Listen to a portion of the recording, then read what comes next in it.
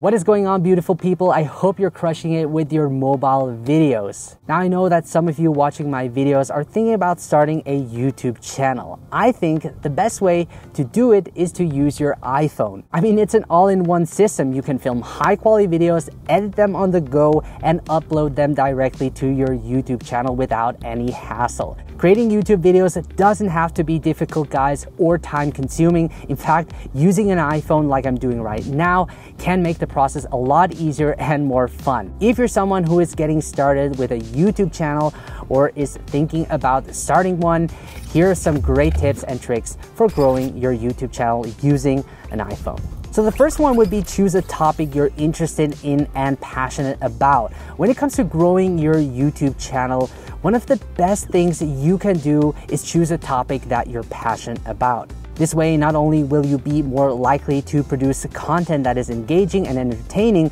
but you'll also be more motivated to keep at it even when the going gets tough. If you're not sure what sort of topic to choose, think about something that you enjoy doing or talking about in your free time. Now, obviously, I like to talk about how to make videos with your iPhone, and that's where I started to focus my channel around that topic. Now, since I was so passionate about it, it was like burning in my heart, for me, it didn't feel like work. So if you're stuck on what to make videos about, ask yourself what you're passionate about and start there. Now, no matter what topic you choose, make sure that it's something you really feel comfortable talking about on camera. After all, the success of your channel will ultimately depend on your ability to connect with your audience, like we're doing right now. Now, what holds people back the most on starting a YouTube channel, I think this is like the biggest reason is the fear of being on camera. If you're not comfortable being in front of the camera, that's okay.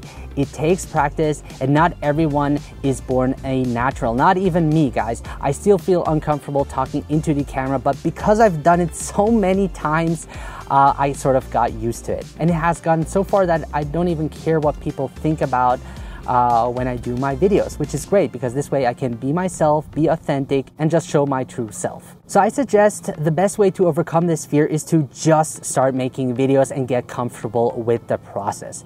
Trust me, the more you do it, the easier it will become.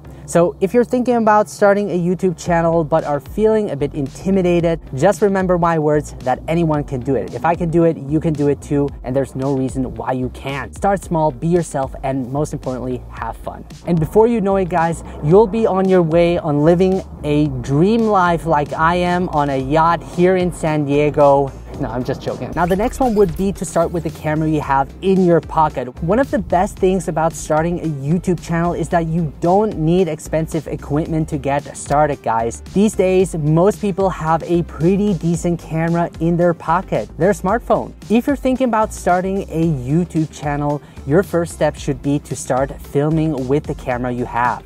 Don't worry about buying fancy equipment or upgrading right away. Just start with what you have and see how it goes. You should be constantly learning and experimenting as you go anyway. I suggest you watch my playlist somewhere up here, easy smartphone video tutorials so that you can get started immediately with some tips on filming with your phone.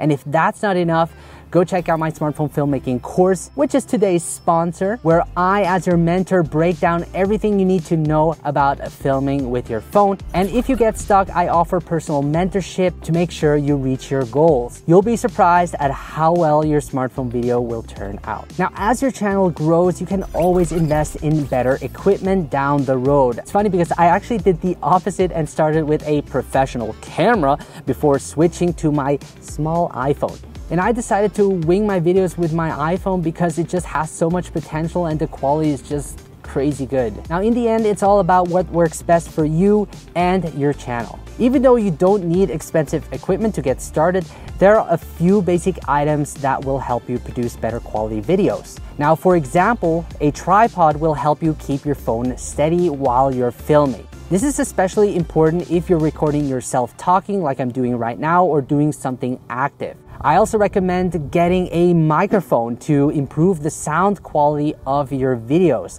There are many different types of microphones out there, but I personally recommend the Rode VideoMic Me L to get started. It's a shotgun microphone that attaches to the side of your phone and it does a great job of picking up sound. Now the one I'm using right now is the DJI mic, uh, which is a bit more expensive but great for a wireless and hands-free setup. Remember, your goal is to grow your channel and attract viewers. To do that, you need to produce content that is engaging and professional looking. That doesn't mean your videos need to be perfect, but they should be well lit and easy to watch. As you can see, I'm using free natural light right now, which looks really great already. If your videos are dark or shaky, it will be harder for people to watch them. And if people can't watch your videos, they're not going to stick around for long. Even though you're starting with a phone, take the time to learn some basic filmmaking techniques. Trust me, it will make a big difference in the quality of your videos. I'm all in for quality over quantity.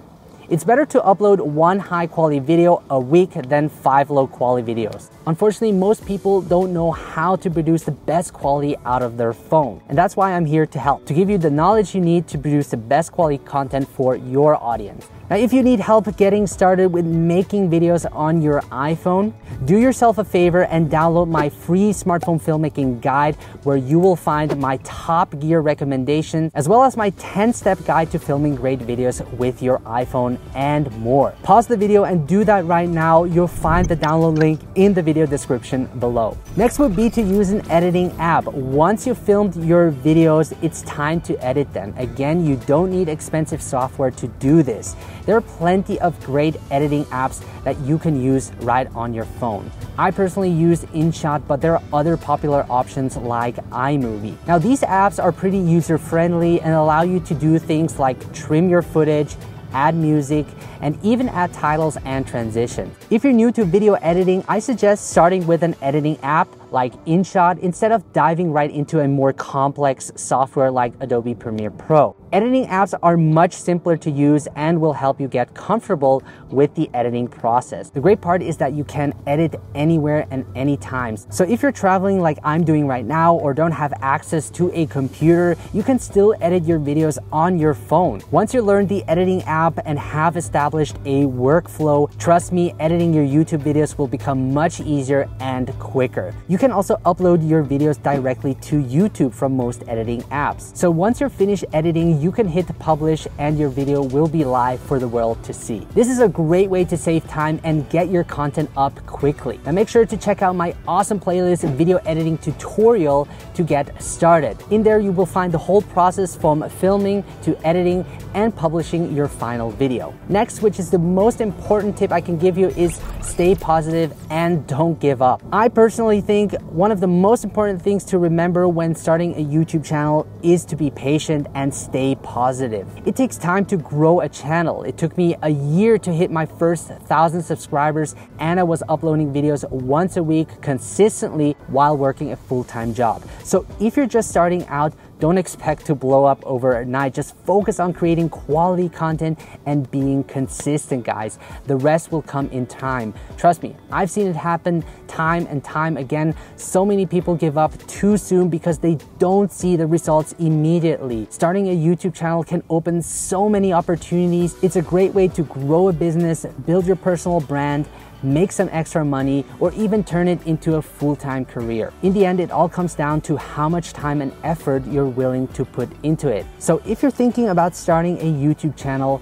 don't overthink, just go for it and see what happens. For me, starting a YouTube channel has been the best thing ever. I'm just having so much fun doing these videos. The reason why I started a YouTube channel was not because it was easier, but hearing that I can help so many people with my tutorials really fulfills me and I feel that I can make a positive impact in this world. All right, guys, that's it for today's video. I hope you found this inspiring and got something out of it. Thank you so much for watching. I really appreciate every single one of you. Let me know if you're someone who would like to start a YouTube channel and if yes, what is it about? Now make sure to stay up to date by subscribing to my channel and hitting the like and notification bell and it will also allow me to produce more valuable content for you guys. Thank you so much for watching. Keep it mobile and see you the next time.